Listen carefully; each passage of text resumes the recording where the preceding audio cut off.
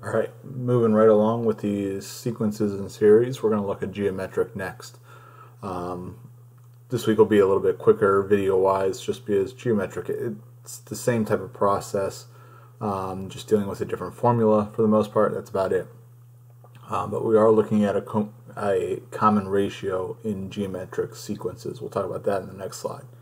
Uh, just a heads up here as well, seniors, this is your last week of new material. Uh, you're still done May 13th, so this is the last full week you have. There should be no new material, definitely not for me, but there should be no ma new material coming the week of May 11th, that Monday. Uh, so this is the last week of new material, so please still get this in for me. Um, that's about it. Uh, juniors will have two more weeks after this week, so three weeks total of material. Um, but let's just get rolling with this. Geometric sequences they have a common ratio um, instead of a common difference like last week.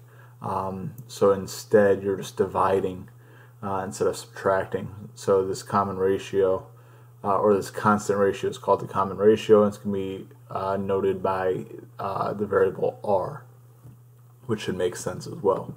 So in this geometric sequence, we have 3, 9, 27, and 81 all we're doing is multiplying the previous term by 3 in order to get to the next one. So the common ratio is 3.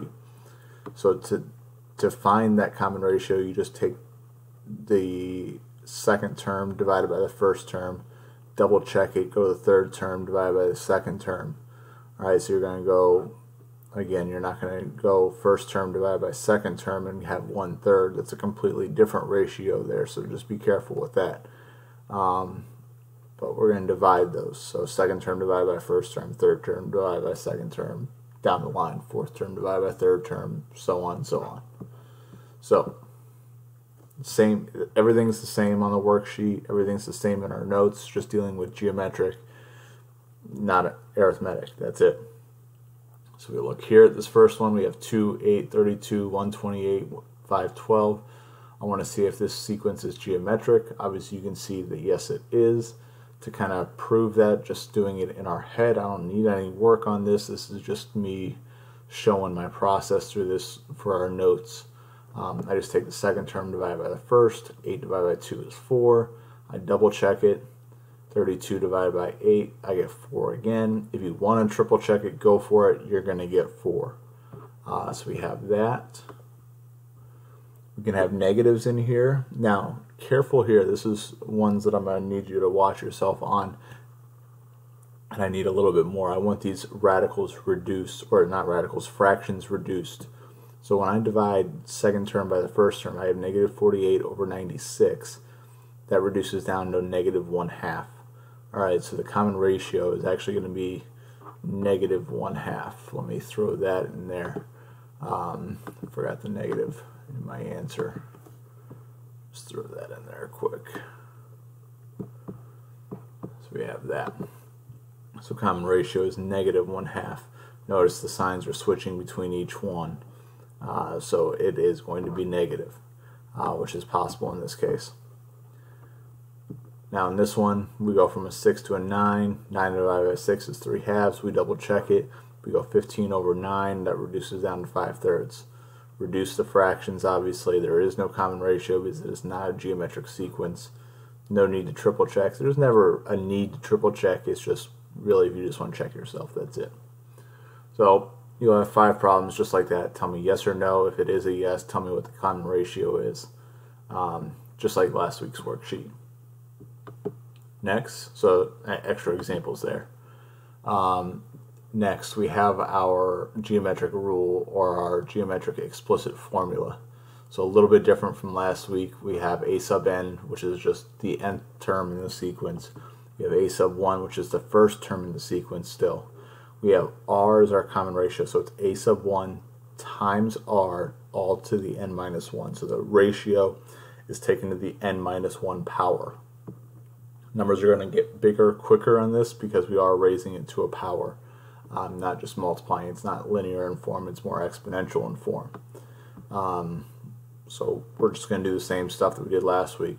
Some things are going to be a little bit easier um, because just like last week, we only need two things in order to write the explicit formula.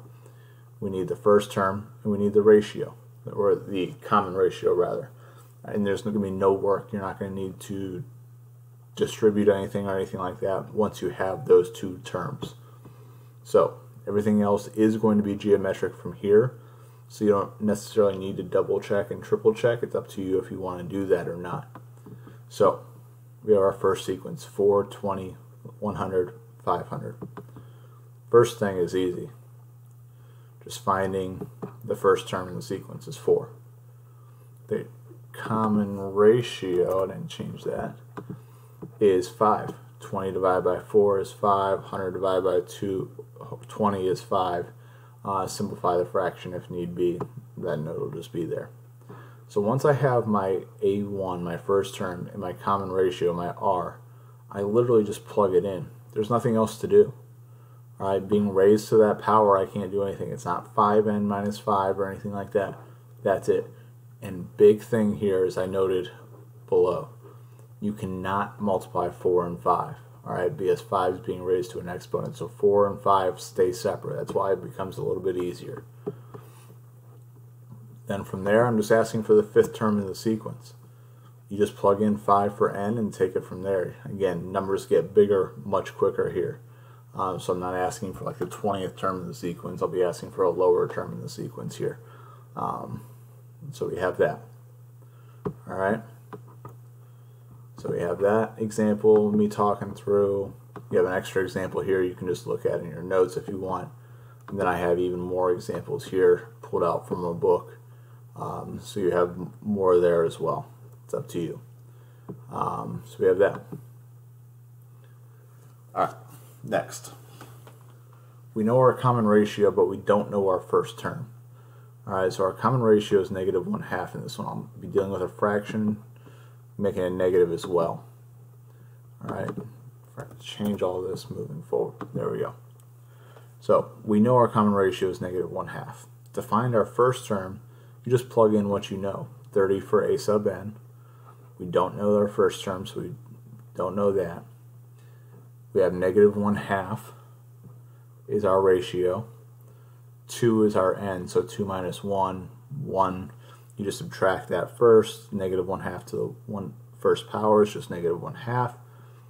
Couple options you can do from here. You multiply both sides by the reciprocal, negative 2, or divide both sides by negative 1 half either way you get negative 60 as your first term so you have that now after that you just plug it in I'm not asking for anything more on this I'm just asking for this portion here alright so I need to see a little bit of work to find that a sub 1 um, I'm going to give you the explicit formula again as the answer key uh, so you can check yourself on it but I'll need to see a little bit of work please extra example there Alright, not much to it. Extra examples again, uh, if you need it. It's up to you there as well. Last one, the hardest one. Um, we don't know anything that we need. We don't know our first term, we don't know our, our uh, common ratio either. But we know two terms within the sequence. So we're going to need to set ourselves up with a system of equations again It's going to be worked a little bit differently here. So hopefully the colors help us out and hopefully my organizations is I feel like it's as good as it can be with this. Um, definitely much more organized than me doing it actually at the board. So we're going to write a system of equations using this information. So I just plug it in, 18 equals a sub 1, which we're trying to find, times r, which we're trying to find, then 3 minus 1. Same thing for the second formula uh, just negative 486 and 6 for your a sub n and n respectively. Simplify that, obviously we have this. Now, we're not going to use combination like we did last week. We're going to use substitution. So we're going to get a1 by itself, a sub 1 by itself in one of the equations. I'm probably just going to pick the one with those smaller numbers. So I picked the first one in, in my example here. So I got a sub 1 by itself. All I did was just divide both sides by r squared. I take that 18 over r squared, plug it in for a sub 1 in the second equation. What I have have here is next. So I plug that in. The r squared cancels with the r to the fifth, and you're left with r cubed. So there's no more fraction. There shouldn't be. All right, to make it a little bit easier. So you want to pick the one with the smaller exponent in order for that to happen. Then you work on getting r by itself. You divide both sides by 18. You get negative 27. Then you cube root both sides. You can cube root a negative, so don't forget that. Your common ratio is going to be negative 3. Then the work gets a little bit easier from here. You find a sub 1.